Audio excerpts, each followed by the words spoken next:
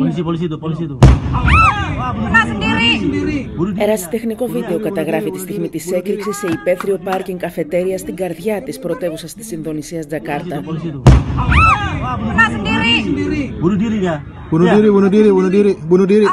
Παράλληλα, στόχο άλλη επίθεσης γίνονται τα γραφεία του ΟΗΕ, αλλά και ένα αστυνομικό τμήμα που βρίσκεται δίπλα σε πολύ σύχνα στο εμπορικό κέντρο.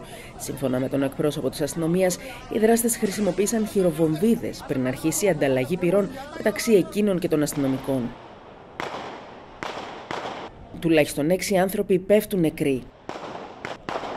Ο αναλυτής σε θέματα ασφαλείας Bombaer, μιλώντας στο CNN, εκτίμησε πως η πολλαπλή επίθεση ίσως φέρει την υπογραφή του Ισλαμικού κράτους, καθώς ο τρόπος που έγινε έχει κοινά στοιχεία με το πολύ νεκρό τρομοκρατικό χτύπημα στο Παρίσι στις 13 Νοεμβρίου.